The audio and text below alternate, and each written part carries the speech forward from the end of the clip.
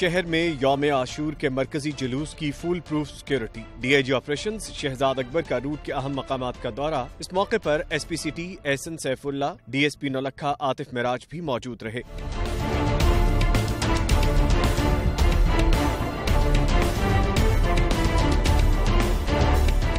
D I G operations نے security مزید بہتر بنانے کے حوالے سے پولیس افسران کو خصوصی ہدایات جاری کر دیں۔ شہزاد اکبر نے بتایا کہ مرکزی جلوس کو فول پروف سیکیورٹی فراہم کی جائے گی۔ فضائی نگرانی کے علاوہ روٹ پر موبائل فون سروس بھی معطل رہے گی۔